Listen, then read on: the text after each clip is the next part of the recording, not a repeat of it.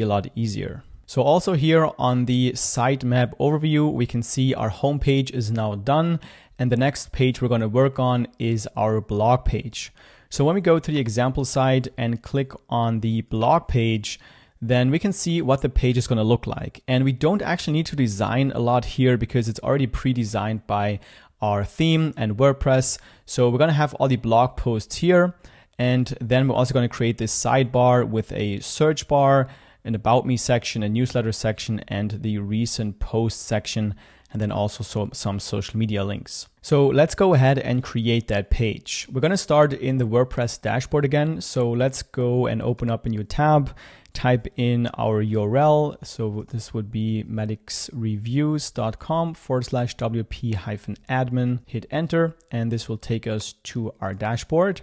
Then let's click on pages and create a new page. Then we're just gonna give the page a title. I'm gonna name this one blog and then click on publish. Again, publish. And now, just like we've done with the homepage, we need to tell WordPress that this page is to be our blog page. So let's go back to our WordPress dashboard and go to settings, click on reading. And then here under post page, we're going to select our page that we've just created, the blog page, click on save changes. And now when we go back to our pages, we can see that the new blog page is assigned as the post page, which is what we want. Now, when we click on view here and open this in a new tab, then we can see that there's already content here on the page because we have assigned this page as our post page.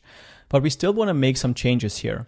So let's click on customize. And by the way, the changes that we're going to do for the blog page is going to be in the WordPress customizer and not in Elementor. So this might be a bit confusing, but just follow along and everything is going to be fine. So first we're going to change the layout. So let's go to blog, then go to blog entries, and then here change under blog style, change it from large image to thumbnail. And this way we get this kind of thumbnail design, which looks a lot better in my opinion. The next thing we're gonna do is we're gonna go back by hitting this arrow here twice. This will get us to the main menu again. Then we're gonna go to general options and go to page title. And then here we're gonna go and for, for the visibility, we're gonna hide on all devices. So we get rid of this ugly page title here at the top. Then let's go back again twice.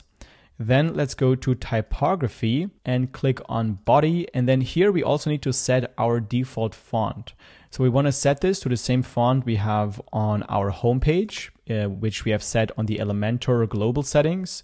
So I'm going to go with Open Sans again, but you want to choose whatever you have chosen there. So open sans, and then you can see it changes for all of the text. Then I also want to change the size. I want to increase the size of the text just a little bit. So I'm going to change it from 14 pixels to 16 pixels to just increase the size. Then let's click on publish. And now we're going to take care of this sidebar here. We're going to make this look exactly like you can see it here, like I've shown you before. So let's go back and then let's go just to the main menu here. And then let's go to widgets, go to default sidebar, and then click got it here. And then we want to first delete everything here. So we start with a blank canvas.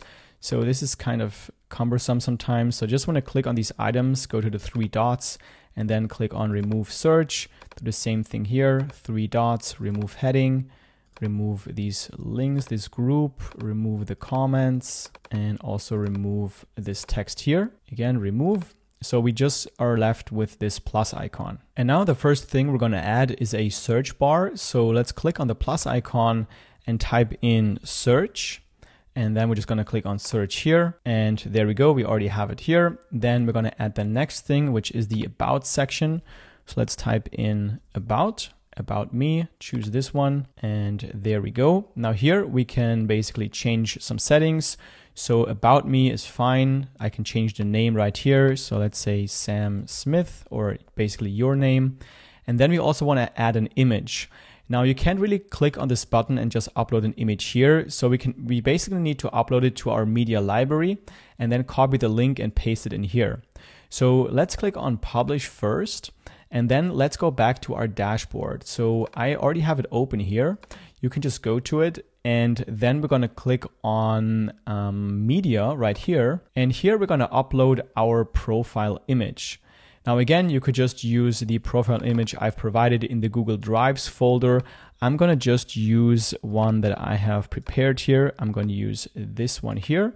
So I'm to drag it into the media library.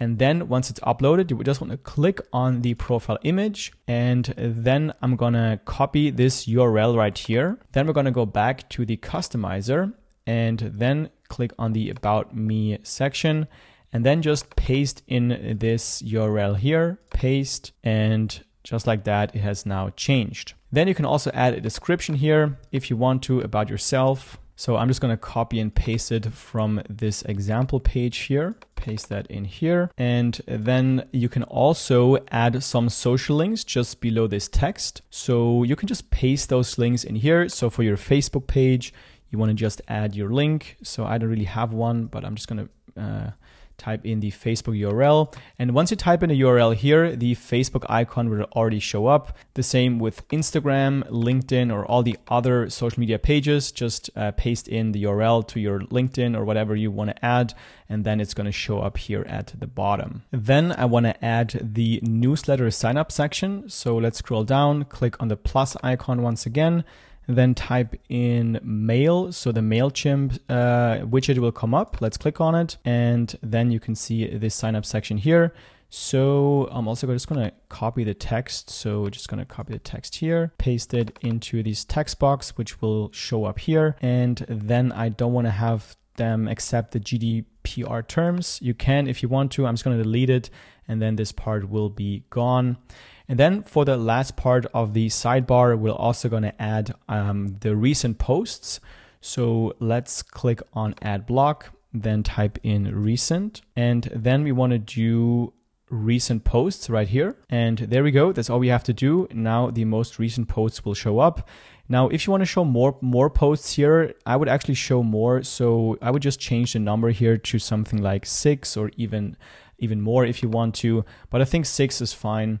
And that's all we need to do. Let's click on publish. And now I also want to change the text size of the sidebar titles and also of this text here.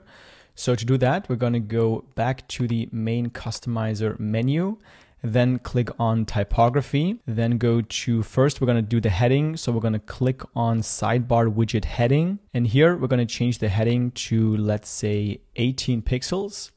And then we're going to go back and also select the widgets here. And then we're going to change the font size to, let's say, 15 pixels. And this will increase the text size here as well. You can have it a bit smaller if you want to. Maybe 14 is fine as well, just like this. All right, let's again click on publish. So that's it for the blog page. We're pretty much done already. And we've also already taken care of this sidebar, which will be not only shown on the blog page itself, but also on the blog post. So when you click on one of these posts here, then you can see that on the right side, the sidebar will be visible as well.